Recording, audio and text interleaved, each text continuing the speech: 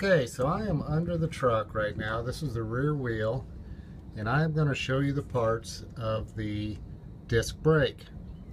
So this this piece right here that the the uh, brake chambers are mounted to. Got your air hoses coming in for, for, onto your brake chamber. That's mounted directly to the brake caliper. That's this piece right here. These right here this is one pin and there's a cap right over here. Just like it on the on the top side for the second pin. Right here we have a brake retaining spring and this is a brake retaining shaft. This piece right here that's right up close to the this this piece right here is the brake rotor the brake pads, squeeze the rotor. There's one on each side of the rotor. They actually squeeze the rotor using pistons right right here and right here. There's two pistons on this one. There's a shaft comes through right here, pushes on both of those pistons. It squeezes the brake rotor between the two brake pads and creates the stopping force that that um, stops the truck. So the inspection requires you to look at the brake pads and of course we don't have very many miles on the truck so we still have plenty of brake pad. You look at the brake rotor and I'll uh, move around to the back side. Here's a better picture of the brake rotor. Um, it's it's smooth. It might have lines in it, but they're okay. You can't feel them. Um, they're just like a car. Cars have the same thing, brake rotor, brake caliper, and the, the brake rotor is actually attached to the wheel through, through the hub, and that's where your wheel bearings, and it rotates with the wheel.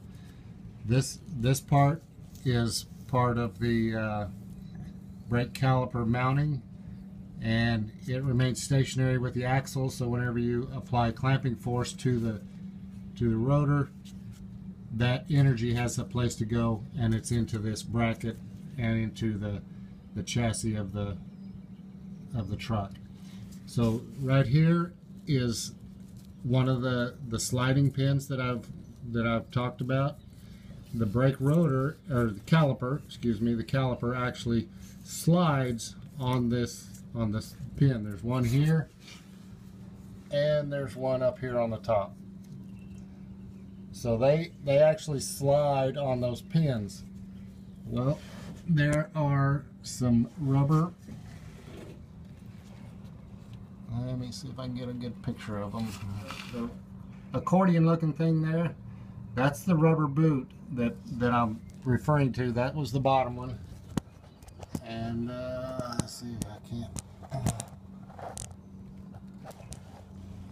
Can't get, oh, yep, there's the top one. So you need to look at those boots, and, and they're pretty hard to look at. They're hard to see. But with if you ever do a wheel off inspection, you can you can see them pretty pretty easy. You can get around them a lot easier without the tire and wheel on, on there.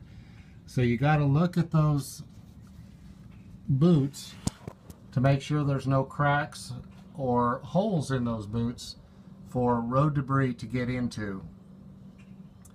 Um, like I said, once once the de debris gets in there, it can seize that caliper to those shafts and that can create a very bad day for you.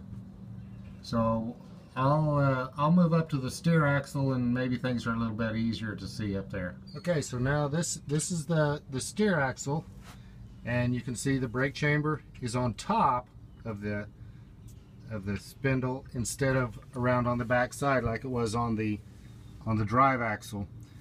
The reason it's on the on the back side on the drive axle is because you'd have the frame really too close for the brake chamber. So the so the the brake chambers have to go in between the spring and the frame rail in order they just have to have more room the uh, steer axle brake chamber is smaller, so it uh, and there's more room because you only have a single tire here. So it, it it's just obvious that it's pretty much um, there's a lot more room up here, so so they can place the the brake chamber wherever they need it. Again, you have the the slider pins. They they're under a cap. The cap does come off. There's one on both ends of it. Uh, let's see if you can see it. This cap right here. And that is the, the slider pins. And of course, the caliper. It's, uh, it's quite a large affair. It's this whole piece right here. Again, you have two pistons on the steer axle just like you do on the drive axle. um, again, the uh, brake pads are up in here and you can see the rotor there. So let's see, uh, let me get under the truck and I'll see if I can get those um, boots we need to Okay, now we're, we're coming in from the underneath the front of the truck. You can see the parts that I've described. You got the brake rotor.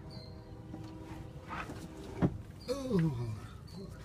Okay, we got the brake rotor here. Again, it's just like the rear wheel. Um, we've got the bracket that the caliper mounts to. As you can see, it's bolted solid to the to the spindle. You have the brake caliper. And this is the, the part that slides on these pins that are that are through through here. And if you look right up in there, you can see that rubber boot right there. And looks like we're okay for no damage. Um, we have the, the brake chamber and the, the dual piston brake caliper.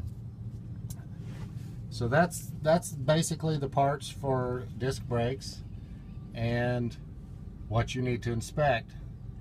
Um, like I said, you you look at the brake pads you can see those from the top um, the, the the drive axle it'll be around on the back side just look in there and you'll be able to see how thick the pads are and with disc brakes you're allowed to get the legal minimum is actually thinner than the legal minimum is on drum brakes so so you can actually wear the pads out farther than you could if if it was on the in drum brakes. So there you have it. If you have questions or comments, please post them and we'll read them and respond to them if we need to. Otherwise, be safe out there.